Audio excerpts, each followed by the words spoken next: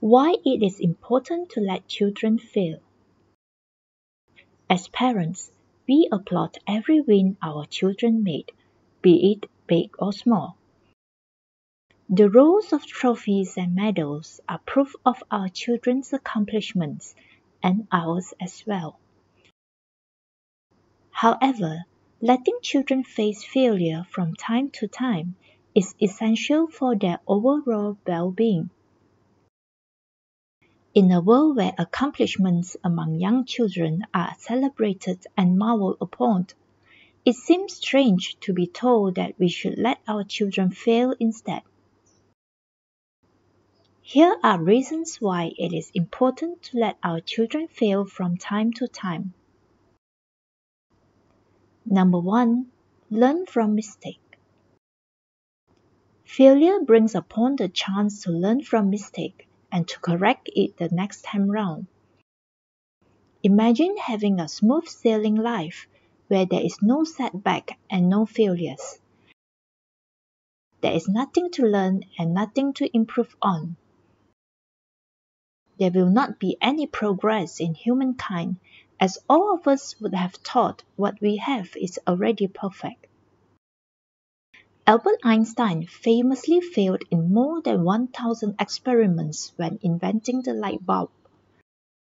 However, instead of calling it quit or calling it failed, Einstein merely shrugged it off as 1,000 lessons on what did not work and progressed from there. When faced with failure, children learn what works and what does not, and hence will not repeat the same mistake. Number two, brings humility. Success and winnings bring about joy and proud moments, but it may also bring upon arrogance. Let me clarify that not all children will turn to be arrogant and proud the moment they achieve something. However, we must accept that there is a chance, no matter how remote, that success would make our children feel pompous or conceited. No one likes a proud and arrogant child.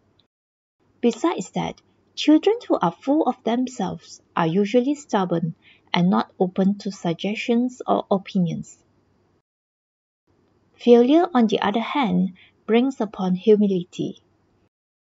When faced with failure, children learn that they are much to be improved on and are more open to suggestions and help. They know that they are not perfect and strive to be better. Number three, develops character. Everyone faces setback with different frame of minds. Some learn from it. Some feel dejected, while others do not seem to be affected at all. The ways children go through each life experience show the tendency of their characters. When parents censor something out of character, they could act on it right away and not let the bad behavior fester. As children face failure or setbacks, parents could teach them about fixed and reality growth mindset. It is important to help children develop the right character or mindset when they are young.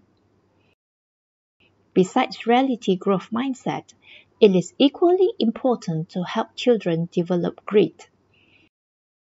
Having gone through failure or setback is a good background to develop such characters, as children can better relate their experiences than through something imaginary.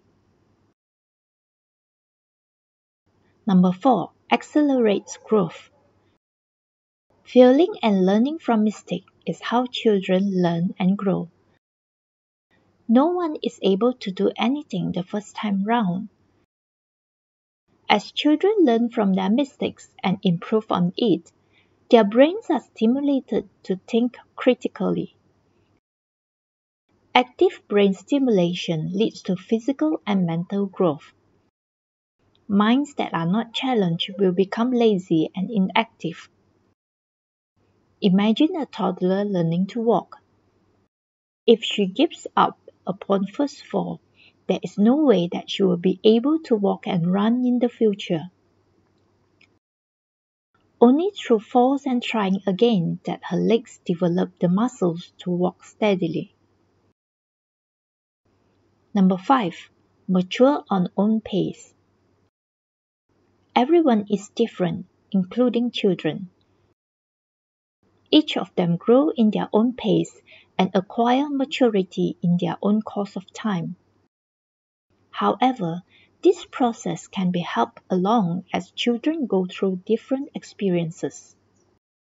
Each experience is an opportunity for children to learn and to gain insights into what future holds. Failure is also an experience that every child needs to go through and mature from.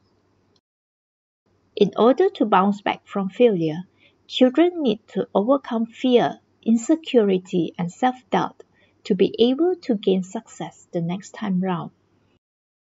All this will lead to maturity. Number six, regulate feelings. Failure comes with it feelings of sadness and disappointment. However, this should not be viewed as something negative.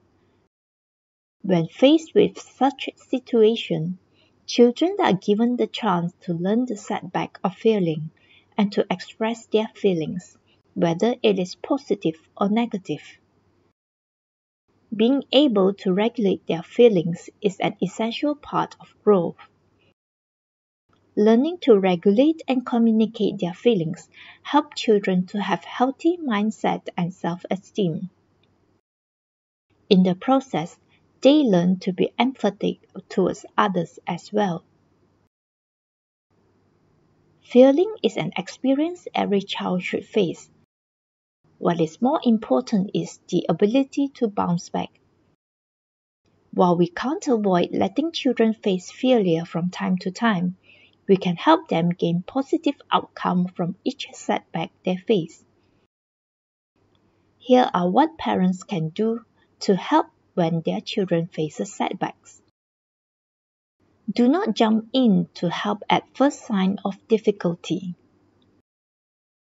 Help them identify and talk about their feelings. Encourage them to work harder. Brainstorm together on ways to overcome problem. Tell them stories about people who fail but make a great comeback. Celebrate effort instead of outcome. Teach them reality growth mindset. Teach them grit and resilience. Do not compare children with others. There you are why it is important to let children fail. If you find this video useful, please give it a like and subscribe to our channel for more videos like this.